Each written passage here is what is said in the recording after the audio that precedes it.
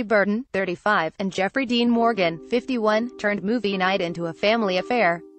Hitting the Rampage red carpet on April 4 with their oldest child, eight-year-old son Augustus, thus, the Hollywood duo looked every inch the happy couple, and we cannot get over Hilarie's impressive post-baby figure. Hilarie gave birth a month and a half ago to her and Jeffrey's second child, daughter George, and their family night out was actually their very first time away from their little girl. Click here to see adorable pics of some of the cutest celeb babies in Hollywood.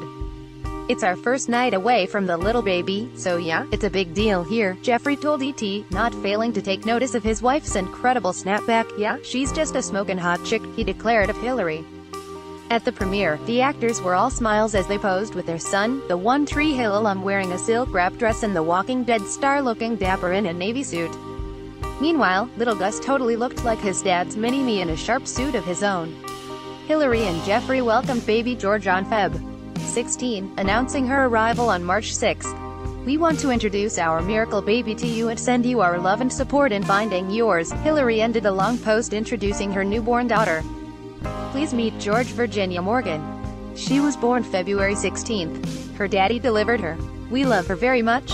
In the same Instagram post, Hilarie also revealed her and Jeffrey's fertility struggles, sharing it took them five years to finally get pregnant with George, and they suffered through multiple miscarriages. It took a long time for Jeffrey and I to have this baby. The first time I got pregnant, it took a year and a half. I surprised him on Christmas with baby Seahawk booties. We cried, we celebrated, we picked out names, and we lost that baby. Hilarie bravely wrote, more losses followed, and as so many couples know, it was heartbreaking. It still is heartbreaking. When writing about her infant, Hilarie made sure to mention how blessed she and Jeffrey feel to have her in their lives. She screams bloody murder and I smile because she is so wildly alive, Hilarie said. My wish is that she would restore hope for others.